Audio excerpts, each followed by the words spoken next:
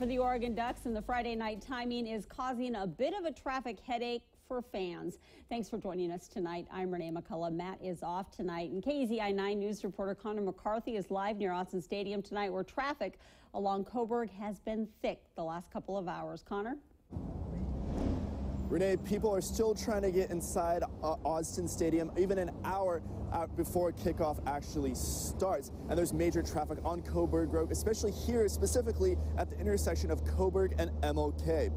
Coburg is one of the few roads that can get people out of downtown Eugene, so adding football traffic to rush hour equals a traffic nightmare.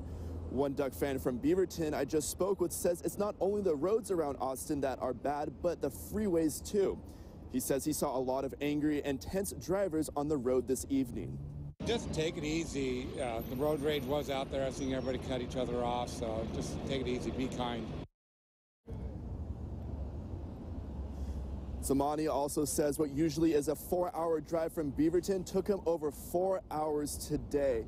And Renee, when people leave the game this evening, police are asking anyone that's heading northbound to take Club Road to get to Delta Highway and Beltline. And the roads are still very crowded out here, but I'm sure it's more crowded inside the stadium where Andrew Hobner is at right now. But for now, reporting live in Eugene, Connor McCarthy, KEZI 9 News.